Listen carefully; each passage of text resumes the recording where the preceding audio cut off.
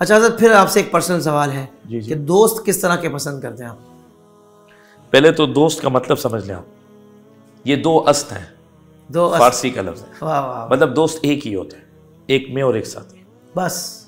दोस्त तो ये होता है। हम तो उर्फ़ में सबको दोस्त कहते हैं। ऐसा ही है। हाँ।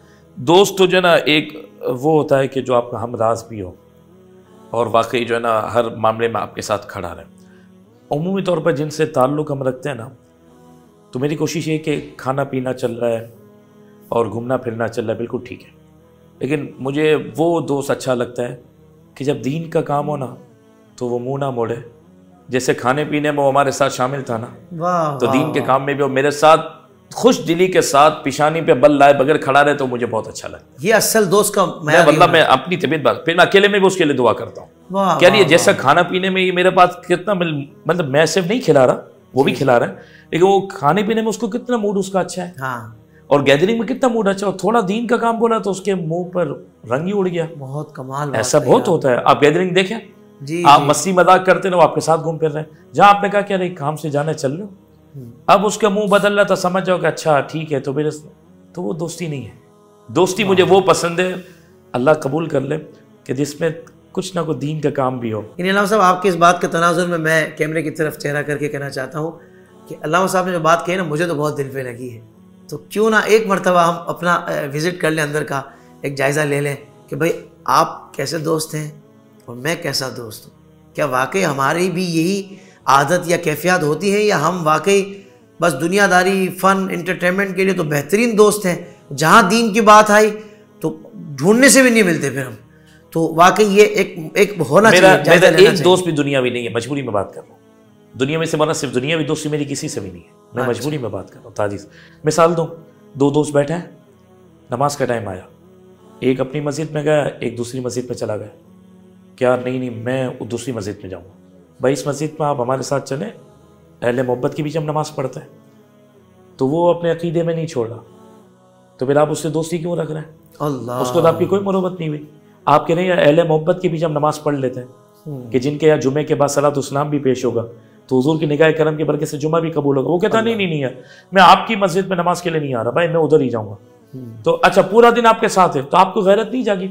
कि जो मेरे नबी पे दुरूद पढ़ने के लिए तैयार नहीं वो मेरा दोस्त कहाँ से हुआ? अल्लाह अकबर ये तो नहीं करो। आपके घर में वो खा पी भी रहा है घूम फिर भी रहा है आपके साथ और आपके नबी और आपके गौस पाक से उसको मोहब्बत नहीं। नहीं नहीं मैं बुरा नहीं कहता तो भाई फिर दीवाना बनना। हाँ, कादरी लंगर खाना हमारे साथ। कहने, या रसूल अल्लाह कहना हमारे साथ। जिंदाबाद, अंगूठा चूमना हमारे साथ। मज़ा आ गया। तो फिर क्या मोहब्बत? फिर कोई दोस्ती नहीं है। वाह वाह तो हमारे गौस पाक के नाम से थोड़ा मुँह बिगाड़ा तो फिर मेरा तेरे से क्या ताल्लुक उड़ जा भाई? बहुत अच्छे भाई। दोस्ती तो भाई गुलना मिलना होता है ना। जब उसके साथ कैसे गुल्लू मिल होता है कैसे खत्म हो? जो मेरे गौस पाक का नहीं है। आपके मुंतखब करदा रेस्टोरेंट में वो खाने के लिए तैयार है। ये। जहाँ घूमने आप पसंद कर रहे हैं वहाँ ये तैयार है। जो? सिर्फ़ जिस नज़रिए और जहाँ खुशबू मोहब्बत मुस्तफ़ा की जहाँ से मिल रही है उस जगह नमाज़ पढ़ने के लिए तैयार नहीं तो फिर मैं उसके साथ क्या करूँ?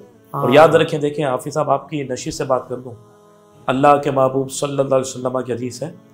बहुत वाज हदीस है हजूर की। अलमरउ अला दीन खलीली। मेरा आका ने फरमाया बात ख़त्म। सरकार दो आलम वसल्लम फरमाते हैं कि हर इंसान अपने दोस्त के दीन पर होता है।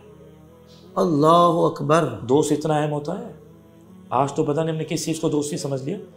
अलमर अला दीन खलीली हर इंसान अपने दोस्त के दीन पर है। आपने दोस्त किसको बना ये तो देख लें। खुदा ना खास अगर वो दीन में दो नंबरी कर रहा है तो अल्लाह न कर आज ही नहीं तो कल आप पर वो रंग आ जाएगा। जी। अच्छा बेनमाजी से दोस्ती के नाम भी नमाज़ छोड़ देंगे। नोट कर लें।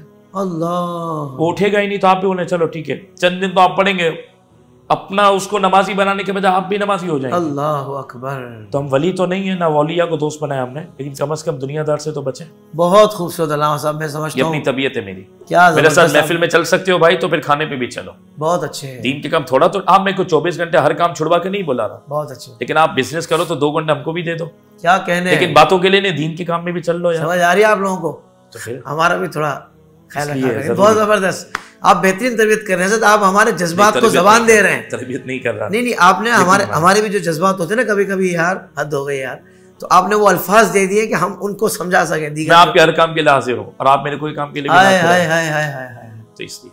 वाह वाह वाह वाह। सोशल मीडिया पर इस्लाम की सही तालीमात जानने के लिए अभी हाफिज सायर खादरी का नया YouTube channel Islamic digital studio subscribe कर लें। और हाँ नोटिफिकेशन बेल आइकन को भी प्रेस कर लें ताकि हमारी नई वीडियोस आप तक बर वक्त पहुँच सके।